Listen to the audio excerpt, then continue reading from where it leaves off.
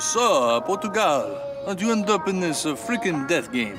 Grief, man. I need that sweet cash prize, bro. I'm, well, I'm drowning in debt. no shit. Everyone's here to pay off their national debt. Hey, guys. Hey, Singapore. Uh, what's uh, the percentage of your debt?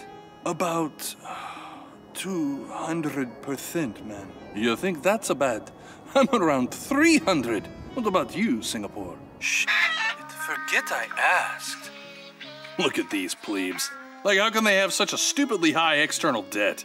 They must have made some terrible choices. Isn't your debt like $27 trillion, America? One trillion of which you owe to us, bitch!